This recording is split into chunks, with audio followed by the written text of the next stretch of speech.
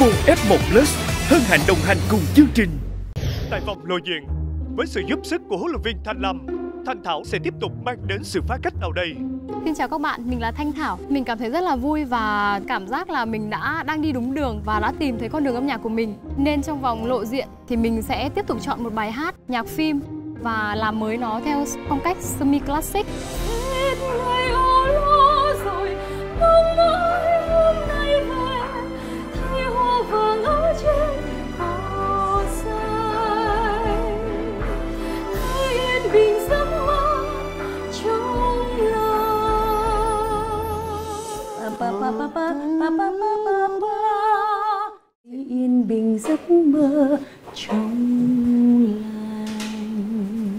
Em tập cho chị đoạn kết tí xem nào.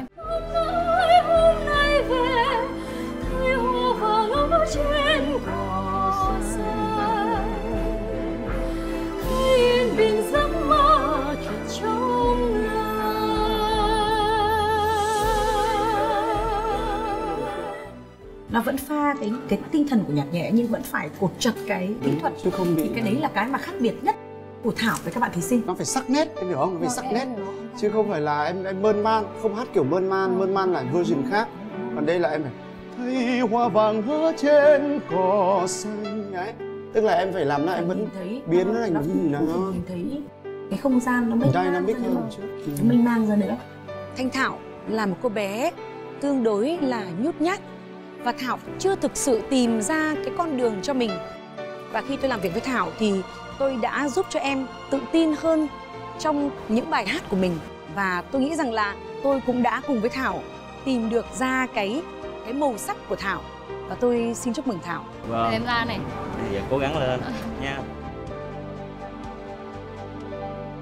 Em xin được kính chào bốn vị ban giám khảo và các bạn ờ, khán giả trong trường quay ạ. Em là Thanh Thảo ạ. à, xin mời em Vâng ạ.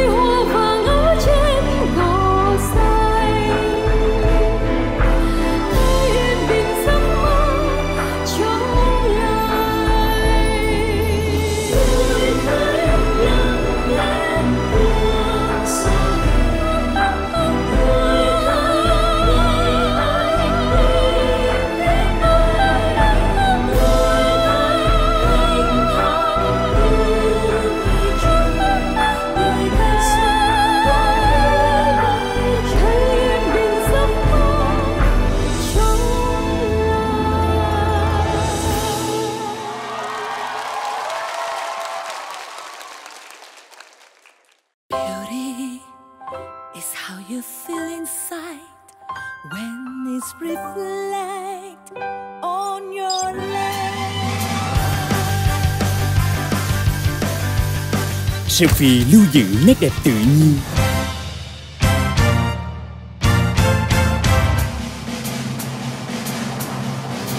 Oppo F1 Plus Nét đẹp tâm điểm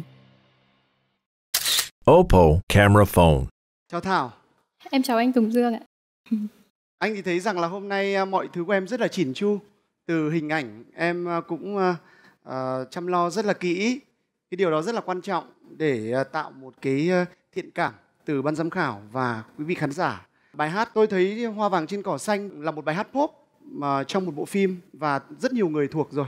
Nhưng anh cũng vẫn thấy rằng em đã có một cái dấu ấn riêng khi thể hiện bài hát này và với một cái sự đầu tư nghiêm túc. Chúc mừng em có một cái phần à, trình diễn rất là sạch sẽ và hiệu quả Em cảm ơn anh ạ. Từ đầu là em đã nói là vì là em học về cổ điển nhưng mà em muốn tìm một cái gì mới để mà đem cho khán giả và cho bản thân em một một con đường mới luôn. Vâng ạ. Và ờ, nói cái đó thì thì dễ nhưng mà để làm nó rất là khó.